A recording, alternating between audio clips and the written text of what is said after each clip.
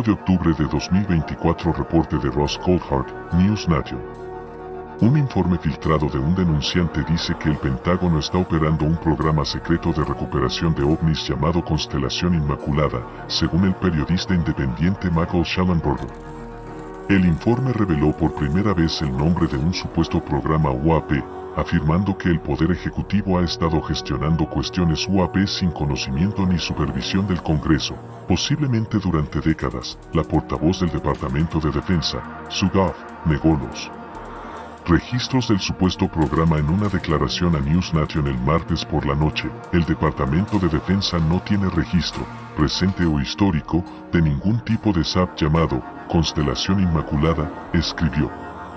¿Qué es el supuesto programa Constelación Inmaculada del Pentágono? Seyenberger dijo a Ross Coulthard de News Nation que ha estado en contacto con el denunciante, cuyo rol exacto y otros detalles de identificación, incluido el género, ha ocultado porque teme lo que podría pasar si se conocieran públicamente. No creo que estén fingiendo o mintiendo sobre su miedo, dijo. Esta persona descubrió este material accidentalmente, no era algo que esperaba encontrar, ese temor es la razón por la que Seyenberger dijo que el denunciante no compartió imágenes de inteligencia que mostraran algún UAP.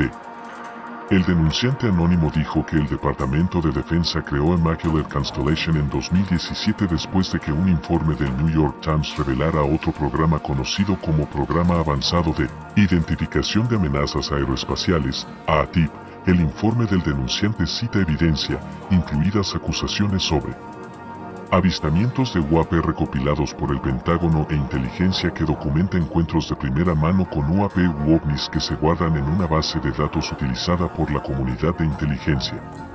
También se dice que el informe del denunciante cita evidencia, incluidas acusaciones sobre avistamientos de UAP recopilados por el Pentágono e inteligencia que documenta encuentros de primera mano con UAP u ovnis que se guardan en una base de datos utilizada por la comunidad de inteligencia. También se dice que el informe describe varios UAP en detalle, incluido uno en el que orbes rodearon un F-22 y lo obligaron a salir de su área de patrulla y uno en el que la tripulación de un avión de la Marina vio una esfera de color rojo anaranjado descender desde una gran altitud, después de lo cual describieron una sensación de inquietud y la sensación de haber salido de un trance.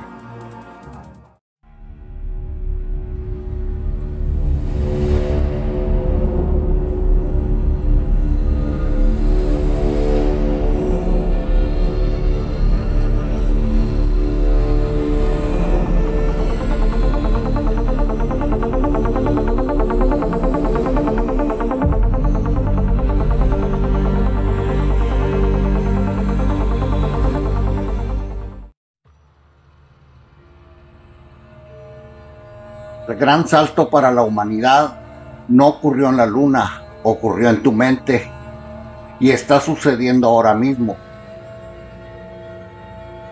Una noche amigos en el otoño de 1997, Art Bell, un locutor del famoso programa Coast to Coast de la Radio Nacional aquí en Estados Unidos, recibió una llamada de un hombre que hablaba sobre el Área 51.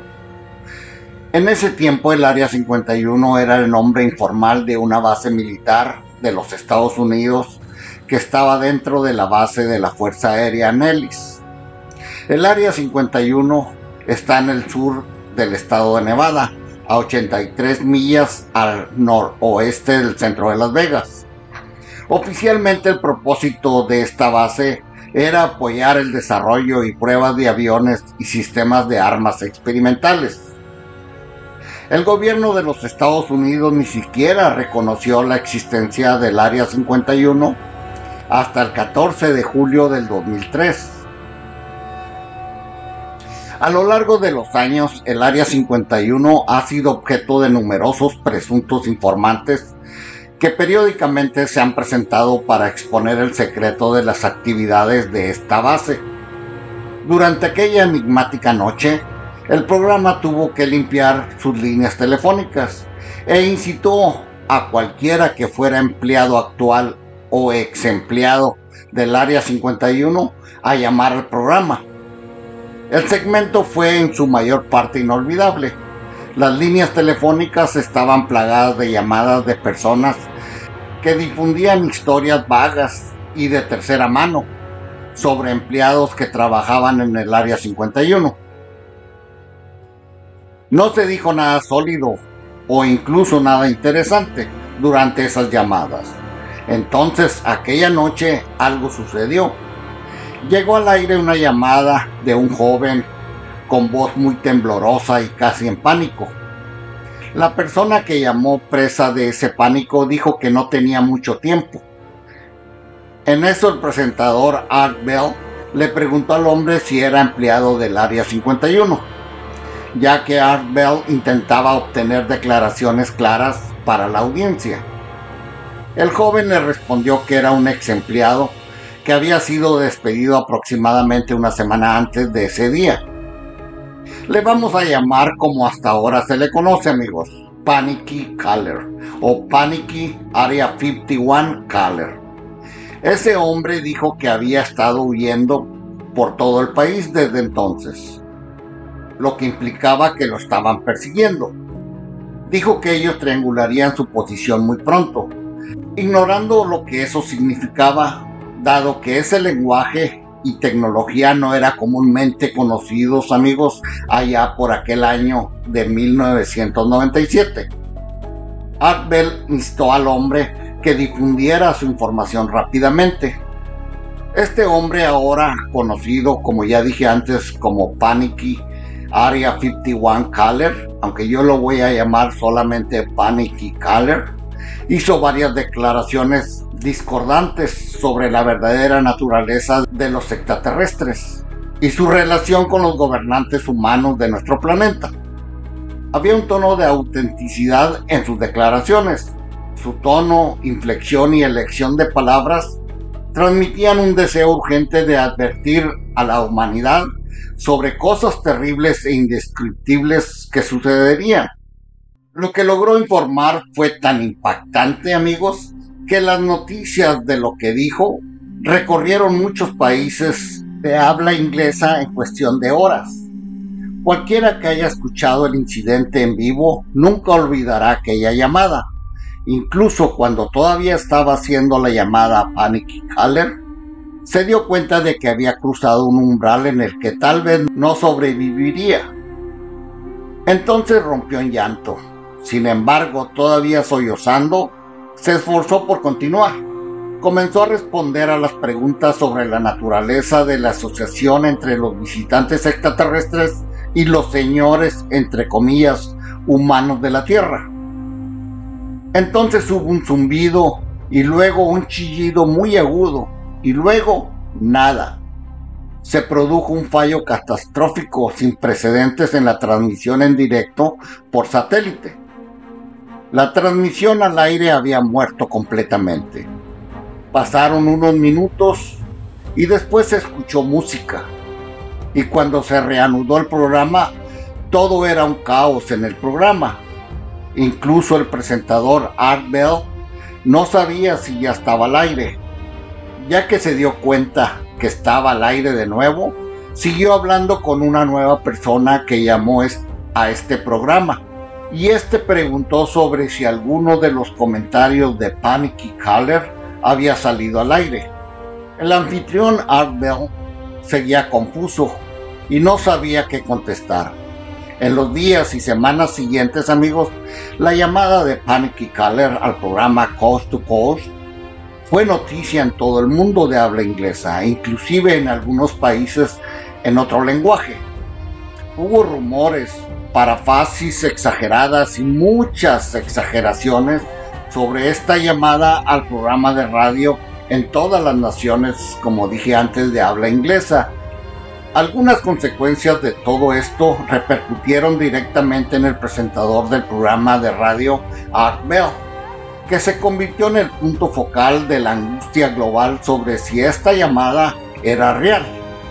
Hasta el día de hoy se sigue discutiendo sobre esa llamada al programa de Art Bell, aunque Art Bell ya pasó a mejor vida.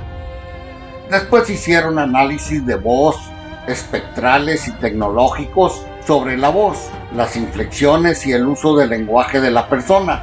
que había llamado hablando sobre el Área 51 en pánico aquella noche.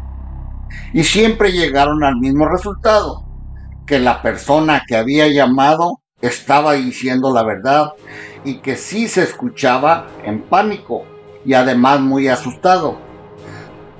Sin embargo, al parecer hubo otros que también estaban muy asustados, amigos, y me explico. Hay a alguien que se les llama los Elite Powers in Control, también conocidos por sus siglas en inglés como EPIC, que habían interrumpido un programa de radio global que transmitía en sistemas analógicos y satelitales, todos simultáneamente.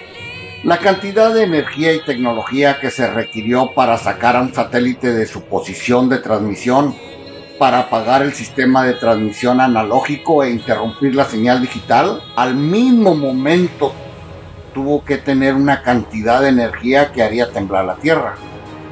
Amigos, la cantidad de energía y tecnología que se había requerido para sacar a un satélite de su posición de transmisión y para apagar el sistema de transmisión analógico e interrumpir la señal, tuvo que tener una gran cantidad de energía que haría temblar la Tierra.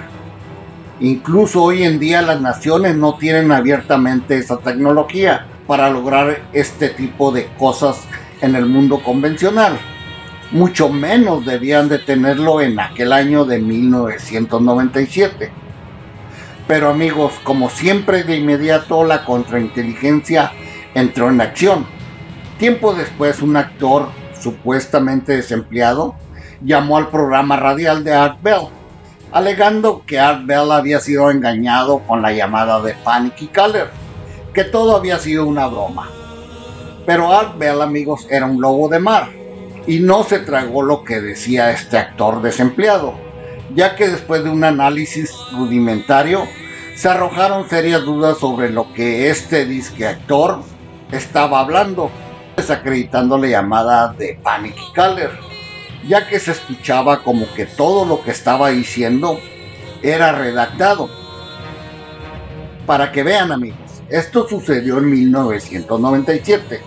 ¿No se les hace igual lo ocurrido con el monolito encontrado en Utah hace ya casi cuatro años? Fue exactamente lo mismo fue la misma estrategia para desacreditar un evento de alta extrañeza. En el caso del monolito también resultó que un artista sale días después a decir que él lo había hecho. Qué extraño, ¿verdad? Y hay muchos ejemplos más que tardaría mucho en darlos ahorita mismo. Pero lo malo con esto es que todavía en la actualidad miles de personas se creen las mentiras del Departamento de Contrainteligencia. Inclusive pseudo investigadores de escritorio se lo creyeron. Y hasta algunos todavía no creen que existe un departamento de contrainteligencia para este tipo de eventos de alta extrañeza. ¿Y saben por qué, amigos? Porque no investigan en el campo. Nosotros cuando fuimos días después a ver dónde se había encontrado el monolito en el sur de Utah, en el condado de San Juan, de inmediato nos dimos cuenta que ningún artista podría haber hecho ese monolito. Primero por el lugar tan lejano de todo y de muy difícil acceso. También por lo que decían los nativos del lugar, que por vivir cerca de ese lugar se hubieran dado cuenta si algún artista foráneo anduviera por ahí haciendo una obra de arte.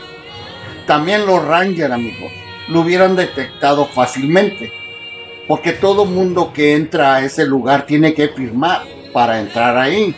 No puede entrar así porque sí. Pero como quiera, amigos, se hubieran dado cuenta.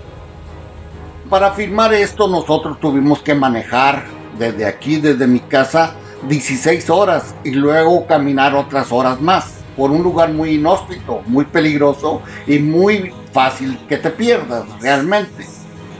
Bueno, disculpen, me salí del tema, pero solo quiero que vean cómo actúa la desinformación en este mundillo de la ciencia revolucionaria, la ufología y lo paranormal, ya que el Departamento de Contrainteligencia siempre está muy activo ante este tipo de eventos. Continuando con la llamada del artista que estaba desacreditando la llamada de Panic Caller, Al parecer, Bell no le creyó, como les dije antes, nada de lo que había dicho este desinformador. Bell después seguía pensando que lo que Panic Caller había dicho en aquella llamada era real. En primer lugar, porque Panic Caller de ninguna manera sacó provecho de esa llamada, porque tuvo mucho éxito a nivel mundial. Entonces el presentador Art Bell no insistió más en hablar con este hombre, que decía que era un artista desempleado. Así que este farsante fue despedido del aire sin ningún contrainterrogatorio. Al parecer, una gran mayoría de la audiencia de esa noche tampoco le creyó, pero el caso de la llamada de Panic y se cerró y mejor fue enterrado por el programa de Art Bell. Incluso amigos, la llamada conocida ahora como Panic Area 51 Caller comenzó después a ser compartida por otros medios con la intención de hacerla pasar como un fraude. Y así fue como pasó la historia en la mente colectiva humana, como si fue un fraude. Pero al parecer nadie se percató o habló de lo más importante que sucedió en la llamada de Panic y Caller. Y es que sacó a la luz algo tan real que antes de esa llamada no se sabía que alguien tenía una tecnología tan avanzada como para apagar un satélite de comunicación. Y estos eran los EPIC, E-P-I-C, siglas en inglés de Elite Powers in Control. En español lo podemos llamar poderes de élite en control y que en realidad son los que están en control de las instituciones más importantes de la Tierra que tuvieron que actuar de inmediato durante la llamada de Panic y Caller, porque ellos activaron y dirigieron esas energías electromagnéticas en una escala vasta, casi imaginable para desactivar temporalmente la transmisión de un satélite desde un lugar muy por encima de la órbita de la Tierra. Amigos, ¿qué comentarios tan explosivos había desatado Panic y Caller esa noche en particular para provocar una respuesta global e institucional? Bueno amigos, lo que dijo Panic y Kaller fue que nuestro programa espacial, o mejor dicho, uno de los primeros precursores del programa espacial mayor, se había encontrado con entidades alienígenas inesperadas. Y a partir de entonces esos seres alienígenas se adhirieron a miembros del programa espacial regresaron con ellos y luego se infiltraron en nuestro ejército y posteriormente en nuestro gobierno. Se inyectaron como un virus en todo el área 51. Estas entidades informaron a nuestros gobiernos sobre los grandes desastres que se avecinaban y en qué parte de la Tierra se verían más afectados por estas catástrofes inminentes. Mientras Panic y Kaller comenzaba a llorar incontrolablemente, Soyosando dijo que los gobiernos nacionales conocen zonas seguras donde podrían trasladar a la gente, pero que la próxima pérdida masiva de vidas en toda la Tierra encaja perfectamente en la agenda genocida de los señores de la Tierra, y que estos querían que la Tierra estuviera despoblada. De esa forma el resto sería más fácil de controlar. Sin embargo, esta devastación no iba a tener ningún efecto sobre las entidades alienígenas porque no son lo que la gente cree que son. Estas entidades no son seres físicos extraterrestres de este ni de ningún otro sistema solar. Dijo que estos seres pretendían ser de nuestra realidad física, pero no lo eran. Dijo que estos seres atravesaban y entraban en nuestro planeta desde otro reino de la realidad. En otras palabras, amigos, que estos seres o entidades eran seres extradimensionales.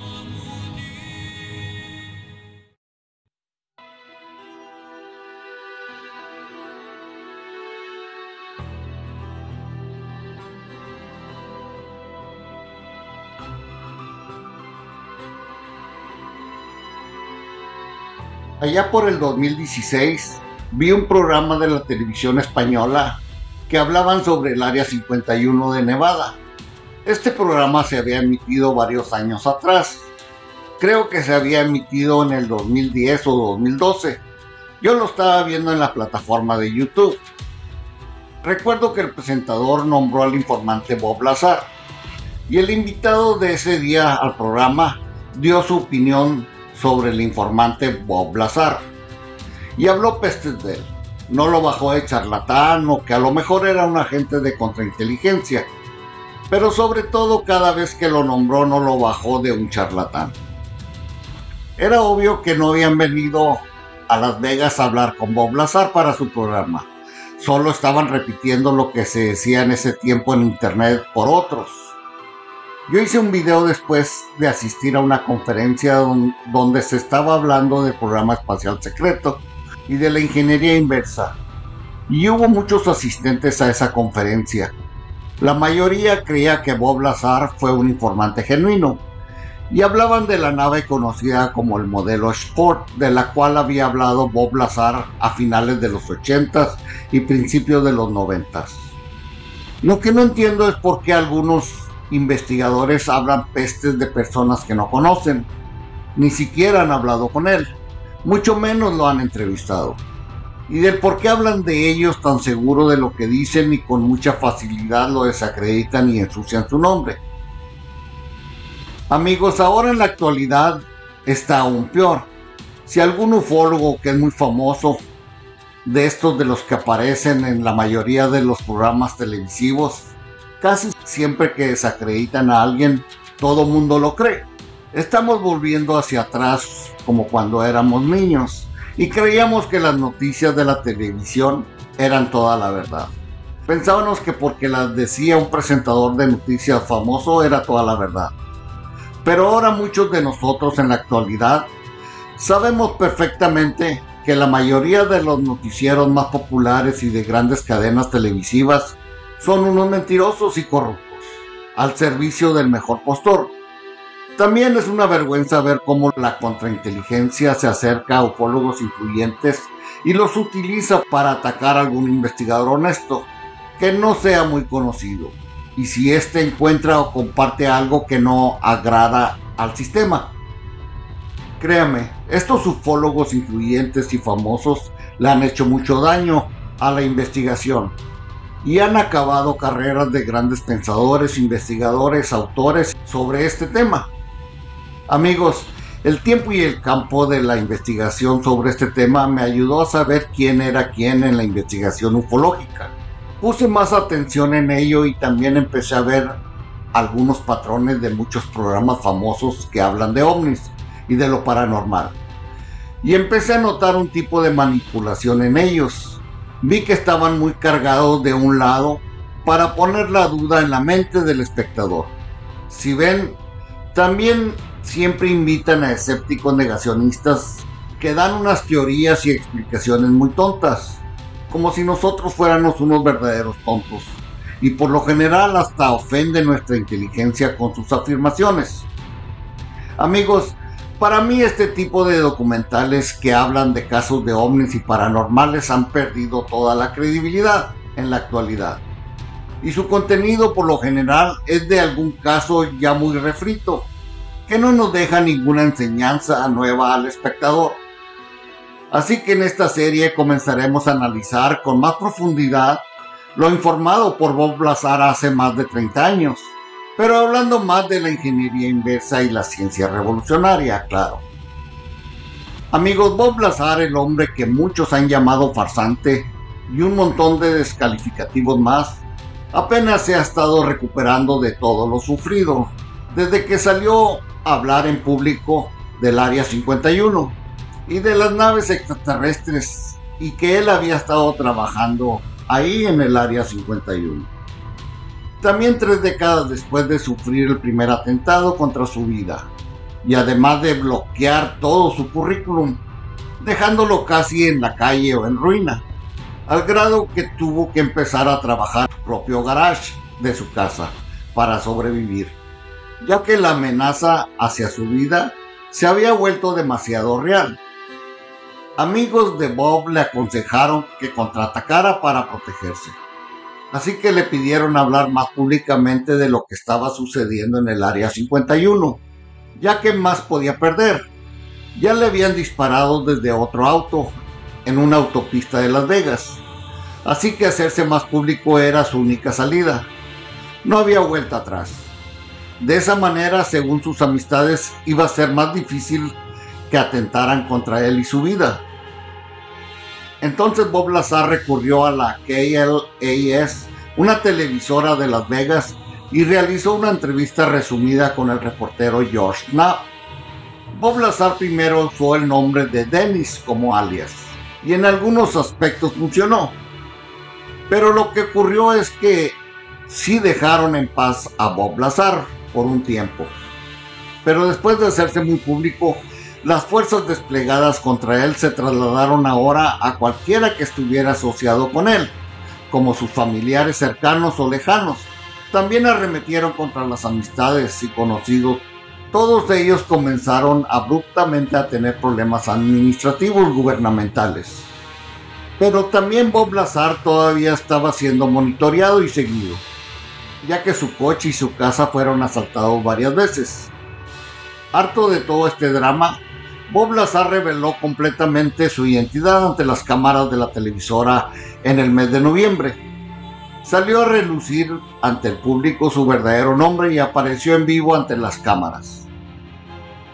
En los más de 30 años transcurridos desde entonces, el relato de Bob Lazar se ha mantenido firme y muchas de sus extravagantes afirmaciones en la actualidad han sido completamente verificadas.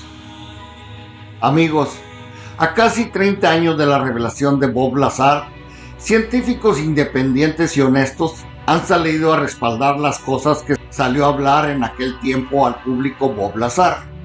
Estoy hablando de tres décadas, amigos. 30 años, imagínense. Y de las cuales todavía algunos se siguen burlando. Sobre todo estos pseudo investigadores de escritorio. Primeramente recuerdo que Bob habló de haber observado una variedad de naves espaciales, nueve en total, para algunas de las cuales acuñó términos como molde de gelatina, a otro le acuñó el nombre de sombrero de paja y así, etc. Según Bob Lazar, las nueve naves funcionaban con la misma forma de tecnología. Sin embargo, el único vehículo al que Bob se le permitió examinar directamente fue una nave apodada el modelo deportivo. En aquella época Bob Lazar ya hablaba de la compartimentación, algo de lo cual se hizo más popular aquí en Estados Unidos allá por el 2013, cuando otros informantes salieron a decir lo mismo. Según Bob Lazar, se hacía la compartimentación para preservar el secreto y no permitir que una sola persona lo supiera todo el trabajo que se le adjudicó se había compartimentado en tres proyectos. Los comandantes de la base encargaron a varios expertos y cada grupo se centró únicamente en el aspecto del vehículo o nave encargados de investigar. Esos tres proyectos fueron llamados. Primero el proyecto Galileo, que trataba sobre propulsión por gravedad, y en ese fue seleccionado Bob Lazar el segundo fue el proyecto Psyche, que examinaba un arma de rayos enfocada por un lente de gravedad. El otro fue el proyecto Looking Glass. A esto se les asignó la tarea de resolver la física relacionada con ver hacia atrás en el tiempo. Obvio que la nave extraterrestre que le tocó a él revisar era un platillo volante clásico, que medía 53 pies algo así como 16 metros de ancho y 16 pies como 4,9 metros de alto. Bob Lazar descubrió el exterior de la nave como metal cepillado, formando un acabado opaco similar al aluminio o peltre. No tenía claro de qué sustancia lo habían fabricado sus creadores, ya que esa nave era de fuera del planeta. No sabía si era metal puro o una aleación o muy probablemente un metamaterial. Amigos, yo escuché la palabra metamaterial por primera vez en una entrevista ya hace años al físico teórico Jack Sarfati por un programa llamado Espacio Profundo. Continúo con Bob Lazar. También dijo que tanto el exterior como el interior eran incoloros y no presentaban costuras, remaches ni pernos de ningún tipo. Aparentemente estaban desprovistos de ángulos rectos. Al parecer todo estaba formado a partir de un molde o había sido impreso en 3D. Estaba más allá de ser redondeado. Era como si estuviera casi derritido, dijo Bob Lazar. Parecía como si estuviera hecho de cera y se hubiera calentado por un tiempo y luego se hubiera enfriado. Todo tenía un borde suave y redondo. No había ningún cambio abrupto en nada. Parecía como si todo hubiera sido fabricado de una sola pieza. Los tres niveles del interior estaban divididos en una cubierta inferior, una cubierta principal y una cubierta superior, que se especulaba que era una matriz de computadora de navegación. Debido a la compartimentación hacia Bow para la propulsión por gravedad, se cree que la sección superior no pertenecía a su equipo y que por lo tanto se mantuvo cerrada para ellos. La cobertura principal servía como centro de la nave y contenía el reactor, los amplificadores y los asientos. Es importante señalar que el diseño de estas funciones no era optimizado para el uso de un ser humano adulto, porque cuando Bob pudo entrar en la nave, descubrió que solo podía mantenerse de pie en el centro de la misma. Las consolas y los asientos eran demasiado pequeños y llegaban al suelo, del tamaño de los seres extraterrestres grises pequeños. Dijo, eran como si estuvieran hechos para niños pequeños. Rodeando el interior del casco había una serie de arcos. Cuando se activó la nave para Bob, dijo que un arco se volvió transparente proporcionando una vista del exterior como si fuera una ventana. Amigos, yo me imagino que hablaba del metal transparente, de la cual ya empezaron a hablar otros informantes. También dijo que el piso de la cubierta principal tenía un patrón hexagonal y contenía una escotilla plegable con estructura de panal que conducía a la cubierta inferior. Cuando estaba cerrado, proporcionaba una base lo suficientemente firme como para soportar a las personas que lo cruzaban. Sin embargo, con la inserción de un dedo o un ligero tirón, se retraería y se plegaría sobre sí mismo fácilmente. La estructura del motor estaba centrada en la cubierta principal. Ahí se encuentra la planta de energía, contenida dentro de un hemisferio del tamaño de una pelota de baloncesto. Esta actuaba no solo como generador de ondas de gravedad, sino también como reactor de antimateria. Conectada, encima había una antena guía de ondas delgada y transparente, y se extendía a través de la parte superior del recipiente. Colocados equilateralmente desde el centro de la plataforma, había tres amplificadores de gravedad. Estos se dirigían a la cubierta inferior y los emisores de gravedad directamente debajo de cada uno. Bob Lazar continuó hablando del funcionamiento de la nave y dijo, funcionaba de manera similar a un Alcubierre Drive. Este es un concepto, amigos, de impulso warp, contrayendo el espacio delante y expandiendo el espacio detrás, que fue propuesto por nuestro paisano y físico teórico, el mexicano Miguel Alcubierre, en 1994. El motor ofrecía una solución alternativa a las cuales a las ecuaciones del campo de Einstein, que establecen que los objetos no pueden acelerar a la velocidad de la luz. En cambio, el impulso de Alcubierre deforma el tejido del espacio-tiempo alrededor de un objeto.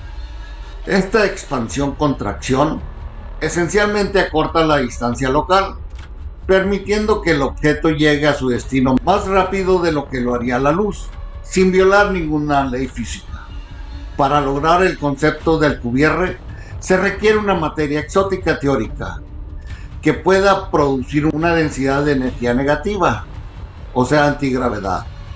En este caso, la fuente de combustible del modelo Sport era el elemento 115, que cumplía esa función. En ese tiempo, amigos, todavía no se conocía el elemento 115. Continuamos con Bob Lazar. Este dijo que sin embargo en lugar de proporcionar antigravedad, este elemento producía gravedad. Su generación de ondas A puede desfasarse con las ondas B de la Tierra, lo que permite capacidades tanto de empuje como de atracción. Los amplificadores siempre funcionan al 100%. Siempre emiten una onda de gravedad máxima y esa onda tiene un desplazamiento de fase de 0 a 180. Eso es esencialmente la atracción de la repulsión y normalmente está en un valor nulo. En algún punto intermedio parece un sistema muy sencillo, pero mucho más profundo. Así que sigamos profundizando y espero no aburrir a nadie. Las ondas de gravedad son ondas en el tejido del espacio-tiempo. Estas ondas pueden tener una amplia gama de frecuencias, dependiendo de las características de los objetos que las crean y de la fuerza de su interacción gravitacional. Pueden volverse visibles cuando dos objetos masivos están cerca uno del otro e interactúan a través de su atracción. Un ejemplo de esto fue detectado por LIGO, siglas que quieren decir el Observatorio de Ondas Gravitacionales con Interferómetro Láser, cuando dos agujeros negros colisionaron y se fusionaron. Según lo que entiende Bob Lazar, hay dos tipos de gravedad. La relatividad general de Einstein, donde la gravedad resulta de grandes sumas de masa, gravedad B, y una forma de nivel cuántico, gravedad A. La última versión es lo que conocemos como fuerza nuclear fuerte. El modelo estándar ve la fuerza nuclear fuerte como una interacción fundamental que limita los quarks a formar protones, neutrones y otras partículas de hadrones.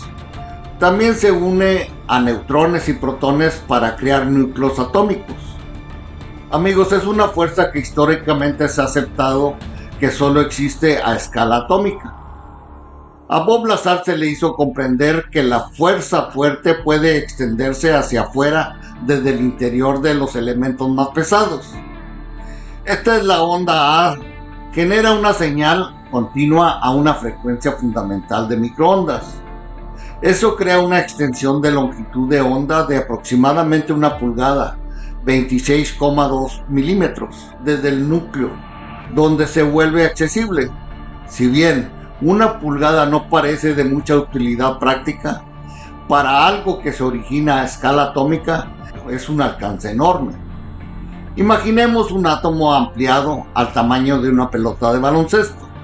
A esa escala nuestra pulgada original ahora se extendería mucho más allá del tamaño de nuestro sistema solar, hasta llegar a la nube Oort circundante. Y eso es solo en comparación con un solo átomo. El núcleo de ese átomo sería una mota flotante dentro de la bola, una milésima del tamaño de su piel exterior.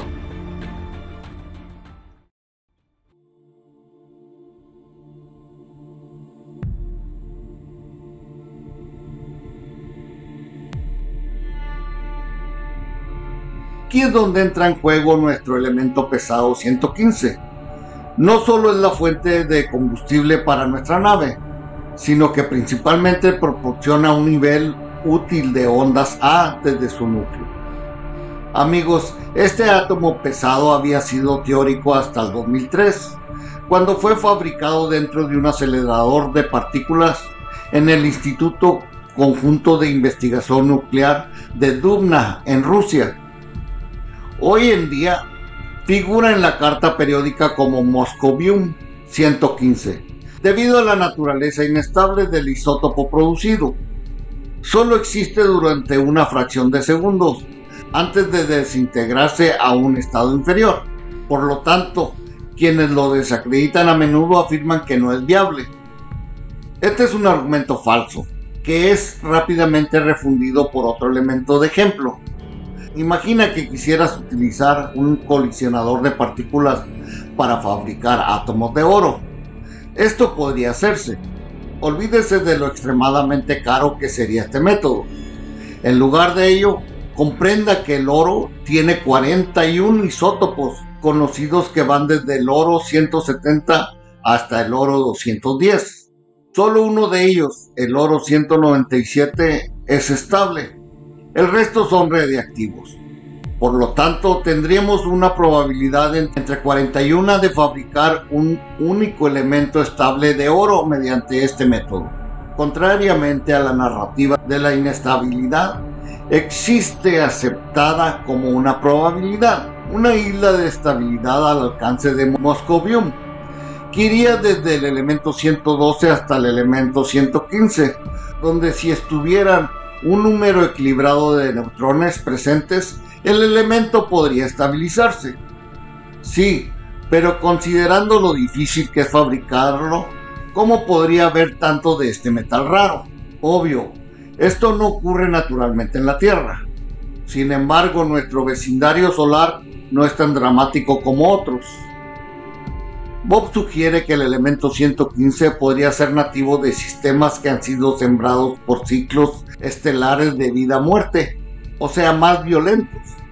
Grandes explosiones de supernova generarían elementos de mayor densidad que los fabricados por estrellas comunes de rango medio como la nuestra.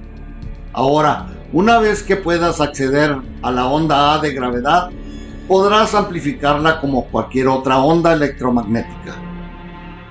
La guía de ondas de la antena extrae la onda, redireccionándola hacia los amplificadores de la gravedad.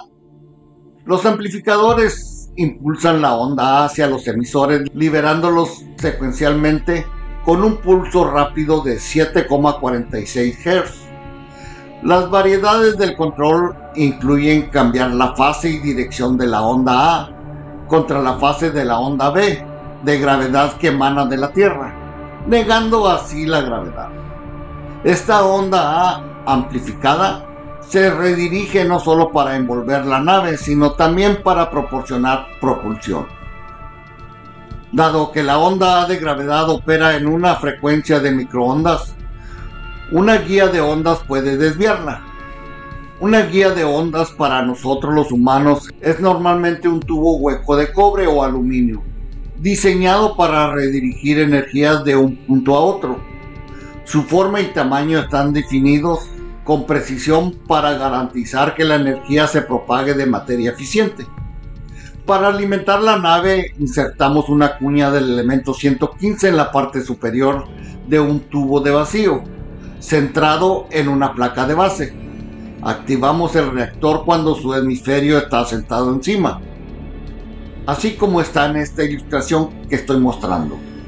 Miren, el paso 1 es un acelerador de partículas que dispara un protón hacia el elemento 115, fusionando el átomo más inferior en el elemento 116. Paso 2. Se desintegra espontáneamente liberando una pequeña cantidad de antimateria. Este antihidrógeno se dirige a una cámara inferior, presumiblemente mediante un campo magnético. Una vez sellado en su interior, se libera hidrógeno. Paso 3 la interacción materia-antimateria aniquila ambas, liberando el 100% de su energía potencial combinada. Paso 4. Esta energía se convierte en electricidad. Ahora amigos, recuerden que esta nave no tiene cables ni conexiones con la que estaríamos familiarizados nosotros los seres humanos.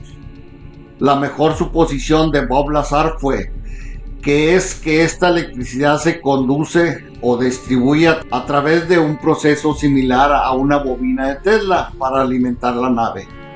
Todas estas acciones y reacciones dentro del reactor están perfectamente orquestadas como un pequeño ballet.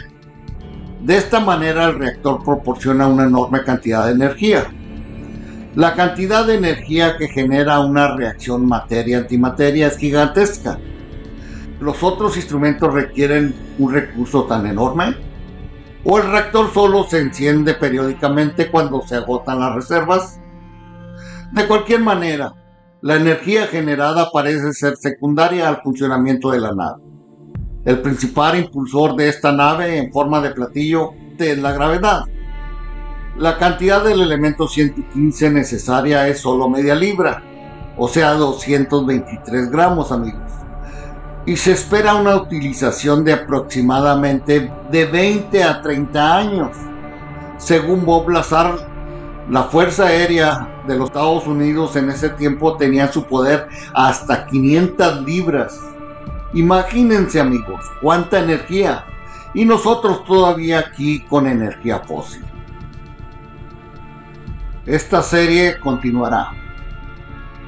Soy tu amigo Antonio Cisneros y recuerda siempre que el futuro es nuestro y que lo paranormal es lo normal, solamente que nosotros los seres humanos de a pie todavía no lo sabemos.